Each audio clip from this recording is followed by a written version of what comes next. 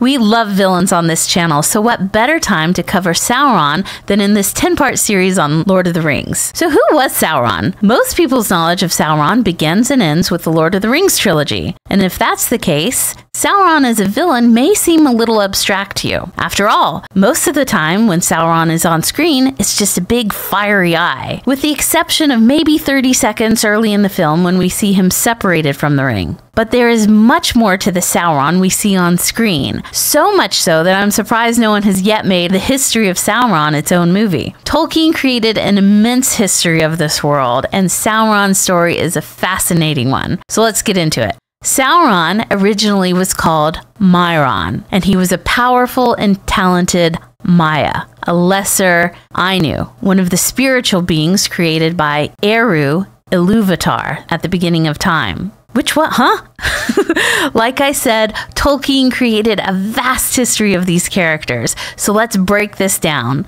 In the hierarchy of Tolkien's world, Eru Iluvatar was the head honcho, the supreme god, numero uno. Eru then created the Ainur. All you need to know about the Ainur is that they are super powerful, immortal, and divided into two groups the Valar and the Maiar.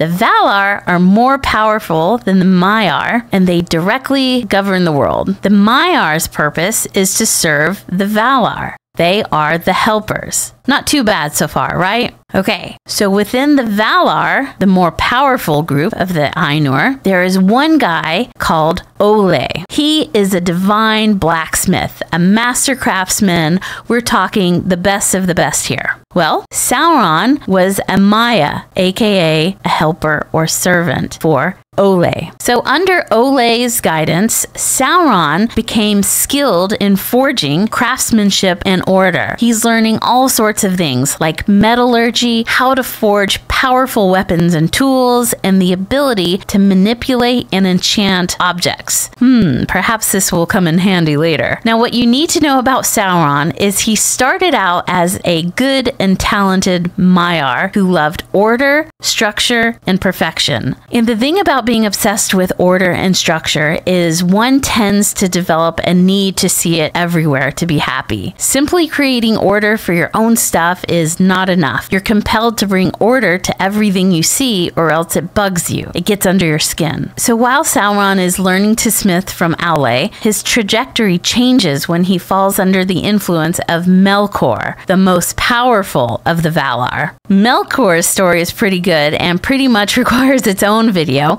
but what you need to know about Melkor is in terms of power, Melkor was number two to Eru Iluvatar. Melkor was given a greater share of Eru's power. He can control and manipulate the elements. He possessed the ability to understand powers of the world more deeply than any other Valar. So he's super duper powerful. He's also rebellious, impatient, and wants to do things his own way. So while this is going on with Melkor, Sauron is also growing a little restless serving Aule, who was a little too chill for Sauron's tastes. Sauron wanted more power and control over creation. Seeing this, Melkor saw an opportunity to lure Sauron over to his way of thinking. Sauron's turn to Melkor wasn't immediate, though.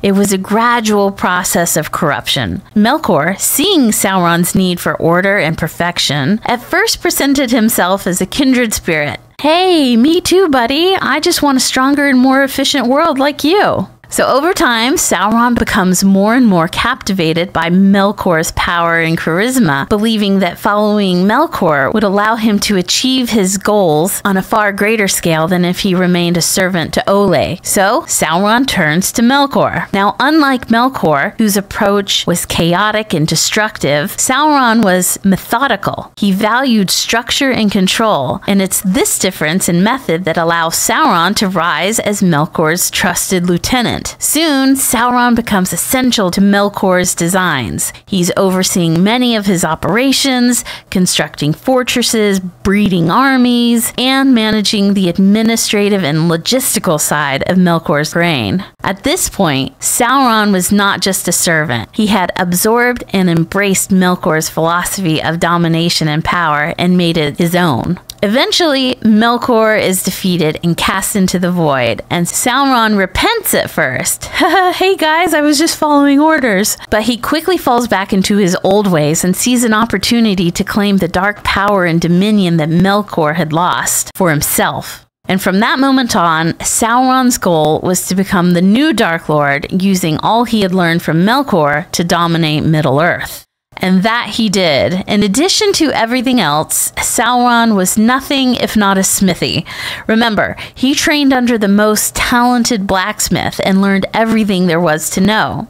We know Sauron desires control above everything, so how does he achieve this? Controlling the elements? manipulating minds. Sauron was a blacksmith, so embracing the go with what you know philosophy, Sauron infiltrated the elves and manipulated them into forging the rings of power. These rings promised to grant the wearer influence and enhanced abilities, but really, Sauron's intention was to control with the ultimate power of the One Ring, which he formed in secret by himself. And we all know how that would turn out. Eventually, Sauron is defeated and his physical body is destroyed. But as he is a part of the Ainur, an immortal race, Sauron continues on, weakened and without a physical form, but nevertheless still alive. In Tolkien's books, the Eye of Sauron is often used as a metaphor for his gaze, will, and awareness. It symbolizes his power to seek out, control, and dominate. This eye is described as lidless, wreathed in flame, and a representation of his burning hatred, vigilance, and malice. It was an emblem of his essence rather than a literal physical form. In the Peter Jackson films, the Eye of Sauron is depicted as the literal flaming eye. Set atop the tower in Mordor, we all have come to know and love.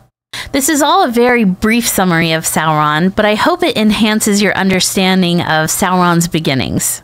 Thanks for watching.